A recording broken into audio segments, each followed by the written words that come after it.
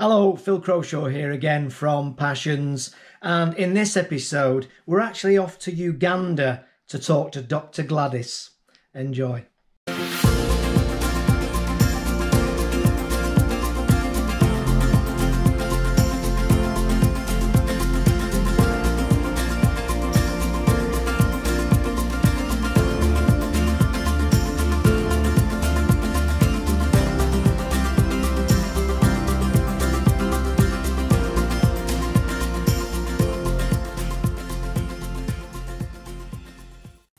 And a very warm welcome to this edition of Passions.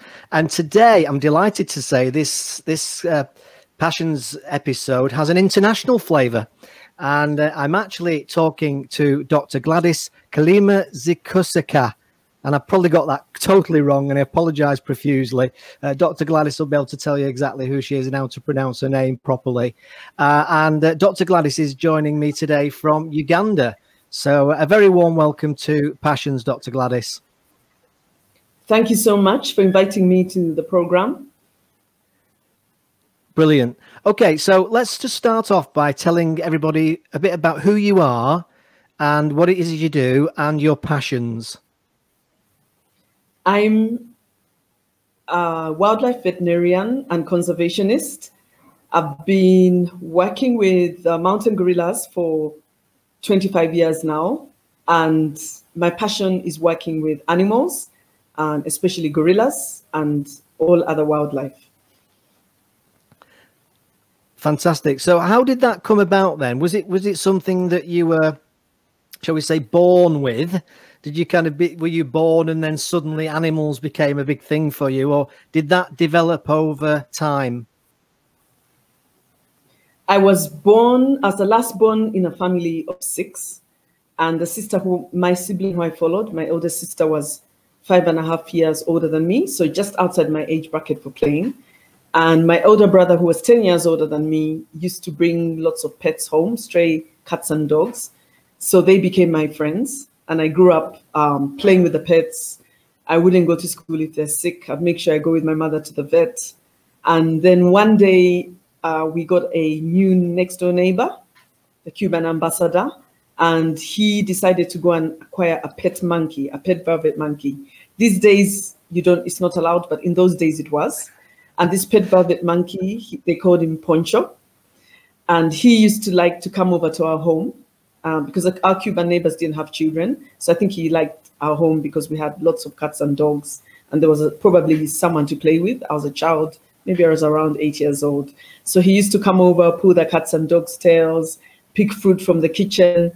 And one time I was, one time I was playing the piano, and then I felt like I was being watched. And I looked over my shoulder, and Poncho was watching me. So I moved out of the room to see what he's going, what he would do. He sat down on the stool and played a note, and I got so excited, and I rushed in, and of course he ran back home. But I think he introduced me to the, the world of primates. I realized that primates are so similar to human beings. His fingers, his nails, everything was so similar to mine. And I was really fascinated by that. And I think that was the first time I really thought about, you know, relating to primates, I would say. And then later on, I got a chance to work with chimpanzees at the local zoo, Entebbe Zoo, which is now called the Uganda Wildlife Education Center and they were orphan chimps and they were always escaping from the cages. And those days the cages weren't so sturdy and I used to bring them back and they were just so adorable. And then later on, I got to work with chimps in the wild under Professor Vernon Reynolds, who started the Budongo Forest Project. And then two years later, I got to work with the mountain gorillas. And how did I get to hear about the mountain gorillas? In um, my high school, in Uganda, I got an opportunity to revive the Wildlife Club. And that was a life changing experience for me because I got so into it. We had debates. Um, we took the students to the national park, Queen Elizabeth National Park. And at the end of that experience, where I was heading it as a chairperson, I felt like I wanted to become a vet who also works with wildlife. And having decided to, that I want to be a vet when I well, we had all the cats and dogs at home, and I felt like I want to be a vet who could potentially work with wildlife. So, but during that time when I go to the offices, they would tell me about the mountain gorillas. and I got fascinated when I heard about them. But they said to me that they're not habituated for tourism and nobody can go and visit them or see them.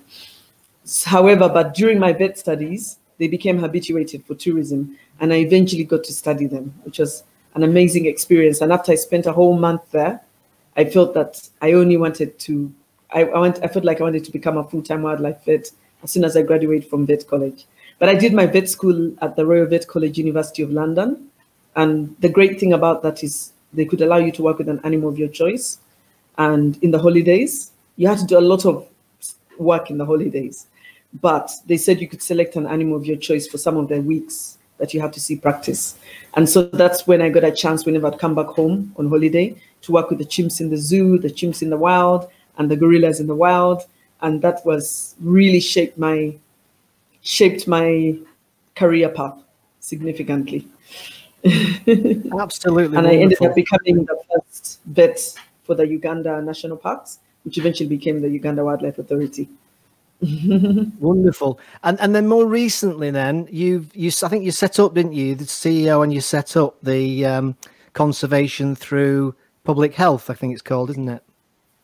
We started CTPH conservation through public health, based on experiences I had working in Uganda as the first wildlife vet for the Uganda for Uganda, and one of the very first cases I had to handle was a skin disease outbreak, scabies skin disease outbreak, which was eventually traced to people living around the park who have very little health care. Although I was hired in that position as a first vet when gorilla tourism had just begun, and they were concerned that people traveling from around the world could come and make the gorillas sick, you know, with a flu or something like that, much like COVID 19 or something like that. They felt that um, it was important to have a vet to make sure the gorillas are fine. But the very first human beings, the set of human beings that made the gorillas sick were not tourists, it was a local community. Because Bwindi National Park is bordering, it's like a very small park, and it's only 330 square kilometers. And there's a very hard edge between the community and the park. So when it was a forest reserve, people used to cut trees. When it became a national park, they could not cut trees anymore. But that means there's no buffer zone around the park and gorillas still come out because once they lose their fear of people, they go back to where they used to be. And in order to have tourists visiting them and researchers, you have to habituate them to the point that they lose their fear of people. And we realized that that was a big problem at Bwindi. And what happens is the gorillas go out and maybe they're eating people's banana plants. And people are always putting out scarecrows to chase away gorillas, baboons, and other wildlife. And we think that that's how they got the scabies. So when they called me and said that the gorillas are losing hair and developing white scaly skin, I actually spoke to a human doctor friend of mine who had studied in the UK, Dr. Catherine Sozi, and she did her medical school there and she's had a practice in Uganda. And I asked her, what is the most common skin disease in people? And she said, it's scabies. So I took the drug with me that treats scabies because it's a 10 hour drive um, from the capital city.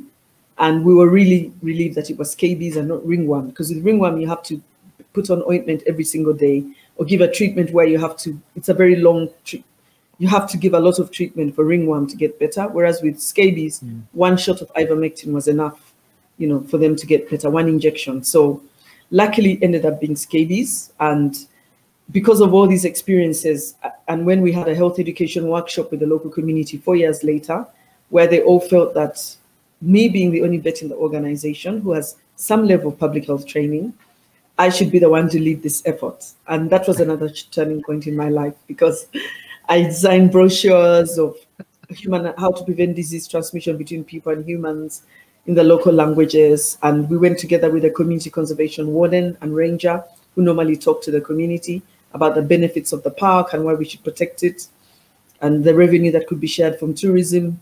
And then we also went with the district health people who talk to people about their health and their welfare, you know, their well-being. So it was a great group to move with because we had different kinds of expertise. And during that time, I actually told them, this is the problem. You know, people get too close to gorillas. The gorillas came in and they touched dirty clothing, and that's how they got sick. And then they said to me, then I was like, now this is the solution. And the warden touched my hand and said, let's hear what they have to say. And they came up with much better ideas and suggestions that I had for them, much more varied. And this was a huge, it was my first time to really have an interaction with people in that way. And I learned so much from that experience and from everyone. And I felt that we can implement a lot of what they said in recommendations in an NGO. So we set up conservation through public health a couple of years later. And my husband, who we just got married, he was the first founder member of CTPH, and somebody else was a vet technician at the Ministry of Agriculture. So Lawrence Zikusoka and Stephen Rubanga, the three of us, we set up conservation through public health in 2003 and working closely with so many other partners because and we got that everybody welcomed the idea because they realized that the gorillas were really at risk from human disease and nobody was addressing improvement of community health around the national park. And so they all welcomed the gap that conservation through public health was filling. And yeah it's been a long it's been a very interesting journey. But especially now during the covid-19 pandemic it's really we're working very hard during this time. yeah, no, absolutely. I must ask you about that because uh, obviously we're doing this interview mid-December when um, the world is is is all on the same page for the, for once in a rare time in rare times um, with the challenges of the pandemic. And as I'm sure you're aware, we we've got our many challenges here in the UK um, still. Mm-hmm um, what's been the impact then of, of COVID nineteen on uh, where you are and the the um, the NGO and the situation? What's what's what's been the impact? The impact on COVID nineteen, we've been much luckier than you in the UK. We've had very few cases comparatively, um, mm. but however, we we suddenly had a surge in cases over the past month, and you know we've had a doubling in new cases within one month and when that starts to happen you know you you know i'm sure you you went through it a lot earlier in march and we're going through that kind of pattern right now. So it's a bit scary yes. for everyone. Um, but we currently have about 20 as of yesterday there were about 28000 cases and uh, about 230 deaths from covid-19 and so it's it is a it is a bit of a, a worry for everybody. And but when the pandemic began our government was very very very very proactive. I mean schools were shut down before even the first case happened in uganda. And so by the time the first case came there was already a lockdown.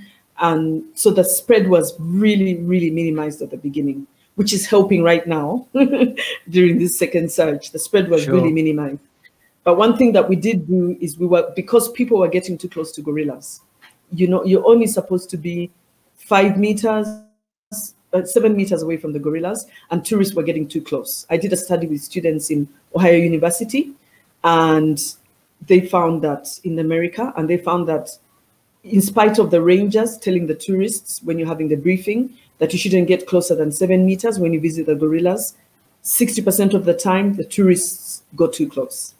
And 40% of the time, it was the gorillas who broke the rules because the gorillas are so used to seeing people, they're very naturally curious and they get too close. And so every, so it was like 98% of the time, people were getting too close to each other. People and gorillas were getting too close to each other. And so something had to be done about this. And uh, the Uganda Wildlife Authority asked us to train the park staff to upgrade the regulations so everybody now has to wear a mask when you visit the gorillas. This was as early as March when people are just beginning to realize that wearing masks is useful in Uganda, especially. So people are now, you know, at that time we people started to wear double-layered face masks or you know surgical masks or N95. And then at the same time, the distance was increased from seven to 10 meters. And if you if you have cough or flu, you're obviously not allowed to go up from before. But this time around, your temperature is also taken to catch any subclinical infection. And this was also because the very first case of COVID in Uganda was not some, the person didn't have cough or flu. Because the government was really looking, really trying hard to detect the first person. And was someone a returning Ugandan coming back from Dubai who had a high temperature of 38 degrees C. And when they tested him, he was positive. And it's like, oh, we've got COVID in Uganda. It's a huge, big thing. Poor guy was being examined, and then the next day they said, "Oh, and he's developed red eyes," and he was like a specimen. and by this time, poor you guys devil. already had four cases, but it was like, "Whoa!" The first case, you know, he was really he was in on the media. Poor guy. I mean, but now you know we have so many more cases. Yeah. But at the time, and, and are, the, something are, the, new. are the gorillas are the gorillas at any kind of risk from COVID? Then, doctor yes, the gorillas are at risk from COVID because wow. we share over 98% genetic material and we can easily make each other sick. And just as they picked up scabies from people and they picked up other respiratory diseases from people, um, which is part of the common flu, like uh, human metapneumovirus infection, respiratory syncytial virus infection, all of those are part of the common flus. And also coronavirus is a part of the common flu. There's some coronaviruses that are not as as contagious as SARS-CoV-2. This is a new strain of coronavirus, but all of those are part of the common flu. And um, but gorillas have ever got human metapneumovirus and respiratory syncytial virus, and chimpanzees have also ever got them as that as well. And chimpanzees in Ivory Coast have ever had a mild form of coronavirus, which happened oh, right. in 2016. Really? Yes, they got it, and it, they they only had mild symptoms, but it likely came from the local community in the area. So we know that the chimpanzees and gorillas are highly susceptible to respiratory diseases, um, what you call the human influenza viruses, okay, human respiratory viruses, they're highly susceptible to them.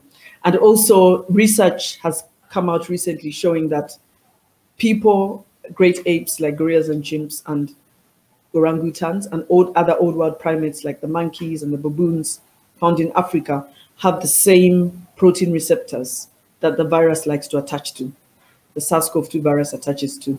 They're called ECT protein receptors. They found that they're exactly the same, which means the way that we get affected by COVID, they could get affected. And you know, COVID in people can either be, you can either be asymptomatic or you have mild symptoms or you have very severe symptoms and mm-hmm. you die. And the same thing can happen. We can ima- would imagine would happen to the gorillas. They may have a combination of, of symptoms based on their inbuilt immunity, you know, and other things like that. So the only also the most difficult thing for them is it's much easier to treat human beings than it is to treat wild animals in the wild that are completely wild. You know, you can't give them that same level of intensive care that you would give to a human being. And so the best thing to do is to prevent it getting into the gorillas by carrying out, you know, really enforcing the rules where people have to wear masks, people have to if they're coming anywhere within 10 meters of a gorilla, including the people who herd the gorillas back when they come out of the park. We call them gorilla guardians or human gorilla conflict resolution teams. We've also trained them. Since the pandemic began, we've trained rangers. We also trained them recently last month again. We had trained the human gorilla conflict team or gorilla guardians. We've also trained a group of volunteers who go to people's homes to talk to them about being healthy and hygienic, and, and not to enter the park to poach and collect firewood. We also, all those guys have also received a lot of training. Um, and I'm pleased to say that the hand washing facilities have gone up at all the homes because people are scared of getting COVID from each other. And if a gorilla comes into someone's garden, the gorilla guardians are called out to herd them back, and we gave them all masks. So they, they herd them back when they're wearing masks and they try and minimize the distance between them and the gorillas. So we're trying our best to train all kinds of different people who would likely interact with the gorillas to interact with them in a safe way. And this includes the tourists. It, it, it, so it seems, yeah, absolutely. It, seems as if it's a constant battle. You know, you've got all the challenges of um, things like poachers and that kind of thing, which which is probably relatively well known as, a, as an issue. And you've also yeah. then got, if that isn't enough, then you've got the disease kicking in or diseases and kicking in. Um, mm-hmm. What's the general prognosis then for the future of the gorillas at the moment, as we speak at the moment in end of 2020? Is their survival looking relatively assured, or is it constant a constant battle, ongoing battle, and will be for the years to come?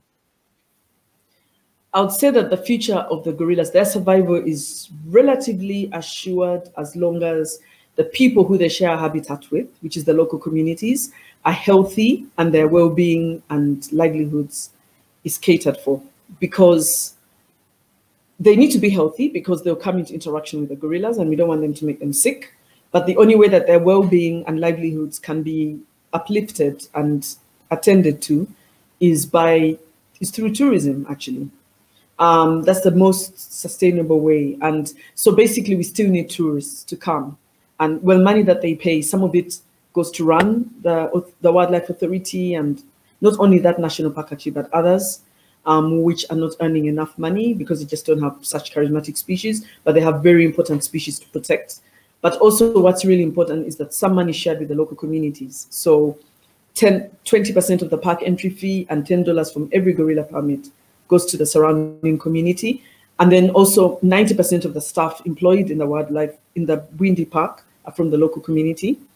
And just by giving one person a job, you're helping five other people, you know, to have to be able to have, you know, to to to have their needs met, their family needs met, and at the same time, people uh, have a lot of businesses. You know, some of them are porters. They take tourists back to the gorillas, and they get paid quite a lot compared to the rest of the community. Then you have some who make crafts, which they sell to tourists, and tablecloths, and some sell coffee, like our farmers, Gorilla Conservation Coffee, uh, the farmers who we've engaged around the park. Others sell walks, others sell accommodation, food, so all kinds of things. So that the ecotourism industry is very vibrant around Bwindi because the local communities are really involved and engaged. And as and because of that, they see the gorillas are their future and they'll do anything to protect them. So even if a gorilla goes to their garden, they won't kill it. They'll call out the gorilla guardians or the park rangers to come and you know make sure the gorillas are herded in the best way. And so that in itself makes it that the gorillas have a secure future. And That, that however, sounds- we have to make sorry. Yes, however, we have to make sure that health does not compromise all of this. So the people who come and bring money that gives the local community an economic incentive to tolerate the gorillas and coexist with them have to be healthy. And we have to minimize them making the gorillas sick. That's one very important part. Then also at the same time, the people have to the way that the only way you can reduce poaching and all of those things is if they're earning enough from tourism, then they won't feel compelled to enter the park to poach. Because when they do, they set snares for not actually in that part of Uganda, people don't eat gorillas, they don't eat primates. Um, that part of Africa where we are, thankfully, but they set snares for other species in the forest that they like to eat, such as the bush pigs and the duiker, which is a small antelope and people like to eat them. And then when they set snares, gorillas accidentally get caught in snares, or if they if these animals come, or sometimes they spear them, which is what sadly what happened in June. A bush pig, someone came to he speared a bush pig, and because the gorilla, he, he, the bush pig screamed when it was being speared, the gorilla got scared and thought they're attacking his family, and he charged. And gorillas are very gentle. It's normally just a mock charge, but then the poacher got scared and speared him. And that was big because the group split up. Um, some of them left and went to another group. They were very unsettled. And it was so sad because the community is benefiting so much from tourism, as I've mentioned. So many of the community members were very upset with this poacher, very, very upset with him. But at the same time, some of the local leaders told us that this, he's among the poorest of the poor. And that I realized that that was probably part of the reason they were being driven into the park to poach during this time because when the local economy is down, everybody suffers in one way or another. And so he was hungry and he, he's, he took a chance. He thought, oh, they're not probably not patrolling the park as much because they're no tourists. And he went in to get food for his family and also to sell on the local market so that he could have some money for his family. And so, yeah, so that's kind of what happened. And that's why it's a very delicate balance between health and economics, just like it is all over the world right now, COVID 19. yeah, but I, especially, I mean, that's fascinating because it, it really is a, it must be a challenge and it's quite a quandary, isn't it? Where you've got the people who need to eat and need to feed their families, which is a, a natural human instinct that we all have, yes. Versus the needs of keeping the species alive and well. And I suppose sometimes the two the two issues clash.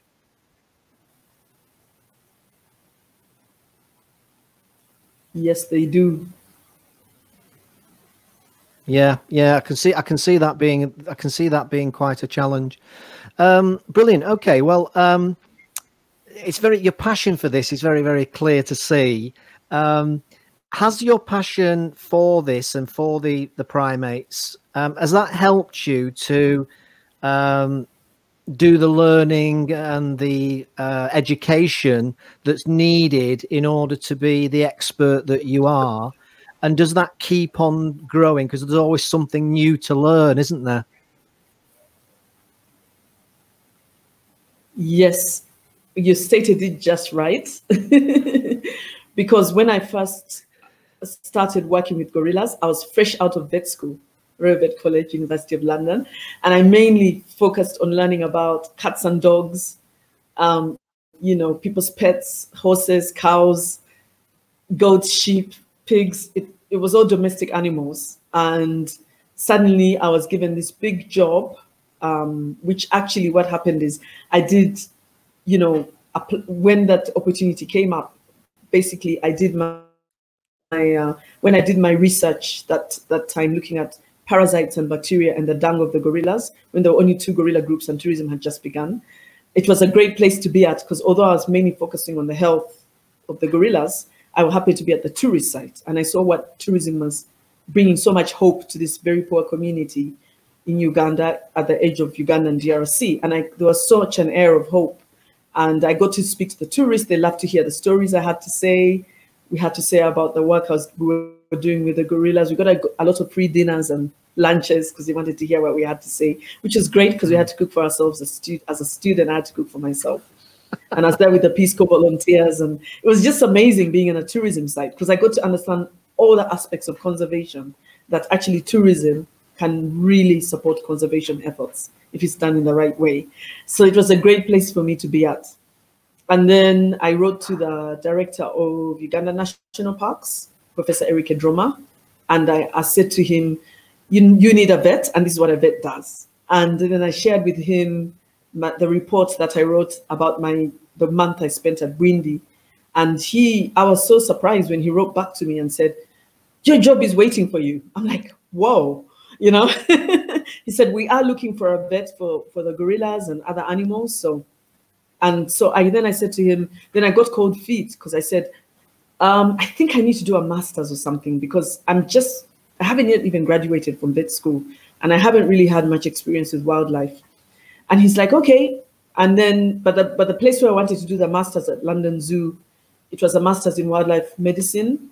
At, at there was a new MSc, and my professor at Royal Vet College, who helped me in the study of the parasites, was part of the co-professors for this course they needed we needed to pay money and the kulika charitable trust which sponsored my vet education in the uk said to me we don't typically sponsor stuff continuously. You have to go back and work do some work for a couple of years then come back to us and then we'll be happy to sponsor your masters. Because they said they don't they prefer they always find that if somebody works first they are much better. They choose they select the best masters that fits them and they're much they benefit a lot more from the masters because they've actually put what they've learned into practice. And that was the best yeah. advice I could ever get. Yeah. So I kind of wrote back to him and I said, you know what? I've not been able to get the scholarship for the masters, but can I still come? And he said, yeah, sure. So I turned up to Bwindi. And luckily, Dr. Liz Macfie, who was working for International Gorilla Conservation Program, and previous to that had worked with Mountain Gorilla Vet Project, which was a veterinary project that was set up to help the gorillas in Rwanda when the late Dr. Dian Fossey said, gorillas are getting caught in snares, can I have veterinarians? So it was started like in the 80s. And she had worked with them. So she, she was a vet doctor by training and had all the experience, but now she was working as a senior conservation leader, setting up a new NGO in a new country. And she had written to me when I was at vet school saying, you know, telling me about her work. And I said I wanted to come and work with her. So I she gave me she looked after me when I did the masters when I did the research as a vet student, the undergraduate research. So it was very good to have her there because even before I started the job, there was a gorilla with a snare in Rwanda, and the Rwandan the vet who was based in Rwanda had gone home on holiday. it was an American vet, Dr. Jonathan Sleeman. So she said, "Well, this was just before Christmas, two days to Christmas." She's like, "I've just got a call that there's a gorilla with a snare in Rwanda." And do you want to come along? I'm like, yeah, sure. This is, I have to start learning now on the job because I've got this job and I've never ever had to. handle a, sick, a gorilla intervention. So we went over to Rwanda, and I have a very, very protective mother. Um, she allows me to do what I want. And she was a bit concerned about me working with the gorillas because she thought they were going to maul me because unfortunately gorillas have a bad rep with King Kong movies and stuff like that. She was really, really scared being her last born. But um, but then I she knows I like animals. She's always encouraged my love for animals. But she was a little when it came to the gorillas, she was really, really scared. And then I said, I'll be fine, I'll be fine. And everybody tried to reassure her. So did Dr. Liz Macfie. And I went to Bwindi and I came out alive. She was okay about that. And so this time around, I said, I'm going to Rwanda to treat a gorilla. And she's like, You have to be back by Christmas. That's the condition. So we, I got onto the bus and Liz met me at the border and we went and that was my first intervention. We did it together with her and Rwandese vet, Dr. Tony Mudakikwa, very dynamic vet as well. And then as soon as we did the intervention and released the gorilla from the snare, I had Liz had to put me back on the bus and I had to get back and spend Christmas at home. So, and then immediately a, couple of weeks later, I started my first job. And within nine months of the job, we had the scabies outbreak in the gorillas. And so, and actually Liz used to tease me and say, it's, it's a, with wildlife vet medicine at the time, it's got better now that there are more wildlife vets. But at the time, all over the world, there were not many wildlife vets. And she said, it's more like you see one, do one, and teach one type. she had been Wonderful. through the same kind of learning on the job. Yeah, so, wonderful. you know, yes, I saw the snare remover in Rwanda.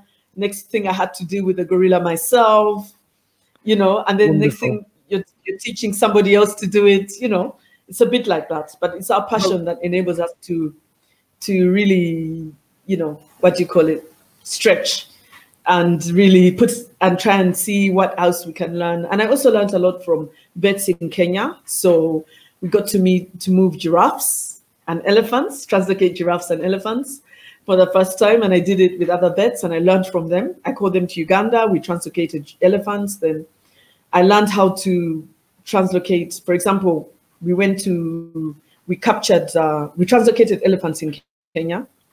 And I went for training at Kenya Wildlife Service. And the reason I went for that training is because the Dr. Droma, who was the executive director of Wildlife Authority, said to me, now we have a vet. You know, they, he said to us that there were two elephants that were destroying people's crops in an area where they could never, they were really stuck in a small forest. And it was on the migration route between two national parks, Murchison Falls and Queen Elizabeth, which was one of the first two national parks in the country. But because of people building up and high human population growth and urbanization, there were only two elephants remaining because some of them had been poisoned by the local communities because they were tired of them raiding their banana plants. And so he said to me, elephants have destroyed somebody's crops. I want you to go out there. So I went there with the legal officer, which is also a young, we're about the same age. And we saw the damage the elephants had done. So we said to the farmer, we're going to try our best to see what we can do. And Dr. Droma said, now we have a vet. Instead of shooting these elephants um, or scaring them away, let's move them. He was just amazing. And I'm like going to him, it's not that easy to move an elephant, but I'll see what I can do about it. So, so we contacted Kenya Wildlife Service and uh, Clem Coetsee, who was who was an animal capture expert from Zimbabwe, and had even taught a lot of. He helped Kenya and taught a lot of wildlife vets to do animal capture all over the world. He came over, and we moved those two, those two elephants. And I first went for training in Kenya to see how it all works, and then we worked with him and a German warden called Peter Muller. It was all of us, it was our first time to do this in Uganda. But because we're also passionate about helping these animals, we did it and everybody was so excited. And so the elephants were taken to Queen Elizabeth National Park. And then the next thing was we needed to move giraffes from Kenya to Uganda. And I worked with the Kenya Wildlife Service vets in capturing the giraffes. But then when it came to flying them to Uganda, the head vet said, I don't have my passport. I don't know if he did that deliberately.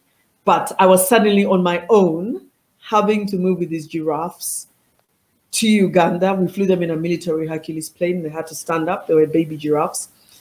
And I had to like basically be the only vet. I came from being surrounded by four experienced vets who were more experienced than me to being the only vet handling this in the journey all the way. And I was just like, so it was a lot of that learning on the job but it was so exciting. Do, do you know the, because so at the end of the day now, the giraffes we brought, the giraffes we brought, the three giraffes we brought, the numbers went from five, went from eight, five giraffes to 35. So we're really excited about that. The numbers actually really went up just from translocating three animals.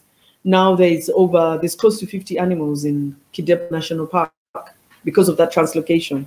And so we're very excited about that. Just a simple activity, if it's done in the right way, can make a huge difference for wildlife.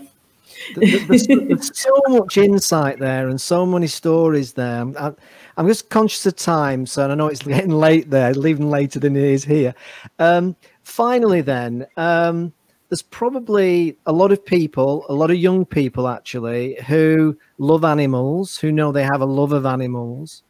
Is there any yes advice that you could give? And I know that there's probably lots of advice, but in kind of summary, what sort of advice might you give to somebody who is young and loves animals in order to make a career out of that passion? What sort of things should they be thinking about, and what sort of attitude do they need to have to actually make that come come true, like you have? Um, let me see. I think the advice I'd give to young people is to really follow their dreams and the rest will follow. And working with animals is very fulfilling and it's very rewarding. For me, when I when I relieve an animal from suffering, if, if I've been treating an animal and it gets better, I'm very happy. If a species that we're working with starts to bounce back, like the mountain gorillas are now, you know, their number, they now have a, their numbers are growing. Whereas before they used to they were going down they're now endangered and no longer critically endangered.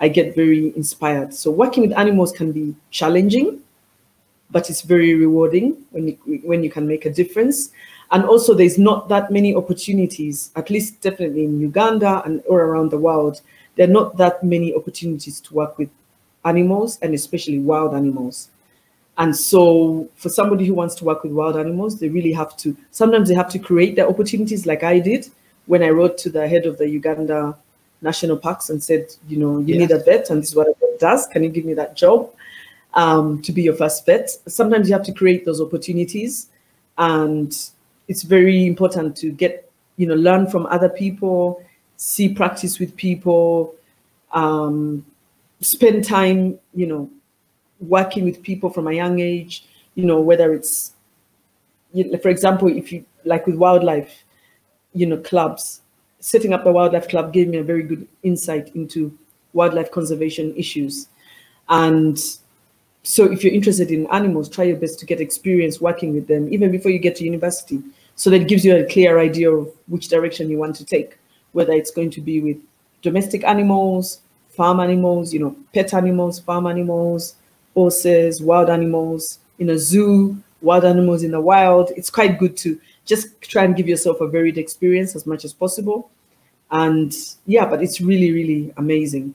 And one thing I can say, the animals, um, working with animals is not, they don't tell, first of all, one thing about it, which always amused my relatives, is they said, why don't you want to just be a regular human doctor? I said, because I don't like seeing animals suffering and then they because the degree is the same you know that the studies you do to become a human doctor is the same as an animal doctor. It's the same thing you do in a levels right. and everything. Same science subjects biology physics chemistry. It's it's the, a lot of that is the same but i said you know animals don't lie but people do so they found that very amusing and it's very hard to argue with that absolutely wonderful well, honestly, Dr. Gladys, thanks ever so much for joining me today. Uh, it's really interesting, some really interesting insight there. Uh, I must get you on again at some time because I'm, I'm really, really interested to explore some of the entrepreneurial and enterprise things that you, you touched on.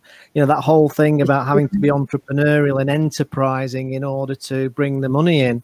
Uh, rather than just relying yes. on charities and relying on governments and such like. So there must be a very significant part of your role and part of the role that you do with with the other people, which is to come up with those entrepreneurial ideas that can sustain yes. it all and keep it going. and actually, yes, it is. No, I'd love to. I actually became an Ashoka Fellow for leading social entrepreneurs for combining Uganda's wildlife management and rural public health programs to create common resources for people and animals, common benefits for people and animals, and they support social entrepreneurs. Like oh, well, do, you know we, we really with your agreement of course um, i'd love to get you back on and just talk about that because i think it's another angle and, and, and, very interesting. So finally then and actually um, one thing one, yes. one thing i'd like to mention mention Please as well do. is that um, we the wildlife authority has given us permission to record a video. Um, somebody's going to record a video. He's a musician who created a song for the gorilla that was killed. Um, for Rafiki, and it's a really lovely song.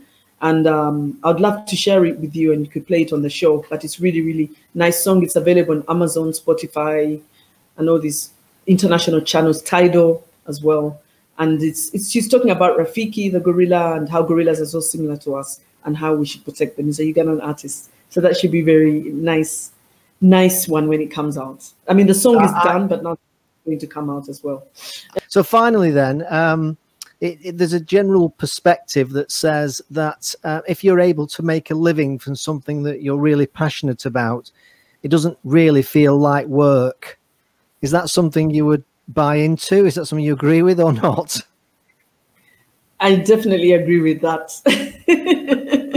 you know, I, I really feel I'm so lucky, you know. Uh, that, the best part of my job is when I'm with the animals and but of course, being an, a leader of an NGO, a charity, I have to do admin, which I really don't like.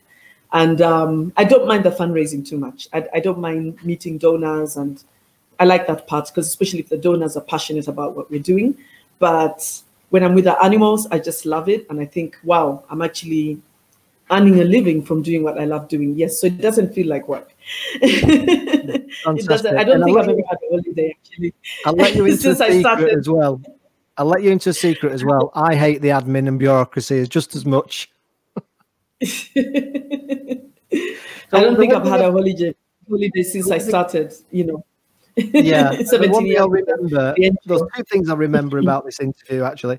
Uh, one is that a, a, very useful reminder that animals don't lie, humans do. And uh, the fact that uh, your mum was really worried that you were going to get attacked by a kind of a a 60 foot high gorilla called King Kong. That's the other thing I'll yes. remember. so thanks ever so much, yes. uh, Dr. Gladys. And you know, really she eventually came it. and saw the, she, she eventually came and saw the gorillas. She eventually came and saw them. Um, maybe, let me see. She, she came and saw them a few years after I started working with them. And she said, oh, they're just gentle vegetarian giants. she liked them. Relieved. I would imagine she was very yes. relieved at that point. She could stop worrying about you so much. She was. right. Thanks, Dr. Gladys. Uh, have a lovely evening. And thank you very much indeed for joining me. Really appreciate it. And I'm looking forward to having you on again at some point next year uh, to talk a little bit more about the enterprise side. So thank you very much indeed. Thank you so much for inviting me. And um, we look forward to host you in Uganda one day, take you to see the amazing gorillas and see the work we're doing with the communities to help to conserve them. oh, that, that would be absolutely wonderful. I'll, I'll have a word with Spencer Phillips and I'll tell him that you've invited us. so yes, um, what we need to do is get rid of that get rid of that pesky virus and then we can get back to some kind of normality. Exactly. Maybe go for your vaccine and so many other things that need to happen to bring the pandemic under control. Yes. But yeah. Yes. Absolutely. Thanks a lot. Thank you very much. Gladys. Thank you. Take care and be safe. Thanks. Bye bye. Bye bye. Merry Christmas. Mm-hmm. Merry Christmas to you too.